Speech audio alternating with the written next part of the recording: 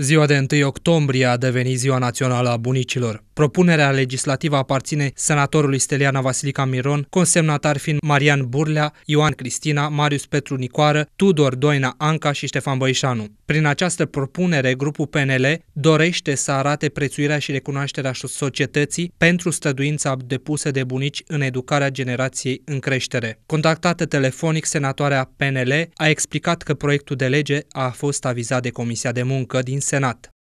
Au semnat și câțiva colegi de mei din uh, PNL, uh, un, o inițiativă care a primit un raport favorabil de la Comisia de Muncă.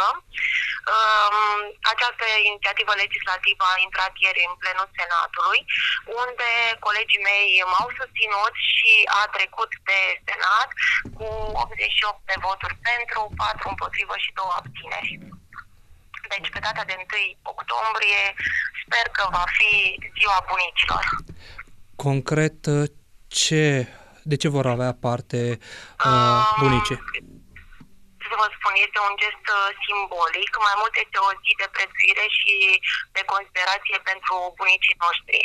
Uh, este o zi care uh, va depinde de autoritățile locale și de cetățene dacă vor organiza manifestări în zonă sau în teritoriu sau în țară. Deci este o inițiativă care nu necesită un efort bugetar, de asta și um, guvernul a dat, um, a lăsat la latitudinea Parlamentului ca să decidă ca ziua de 1 octombrie să fie ziua națională a, a bunicilor. Potrivit proiectului, de ziua bunicilor ar urma să fie organizate evenimente publice finanțate din bugetul autorităților locale sau centrale.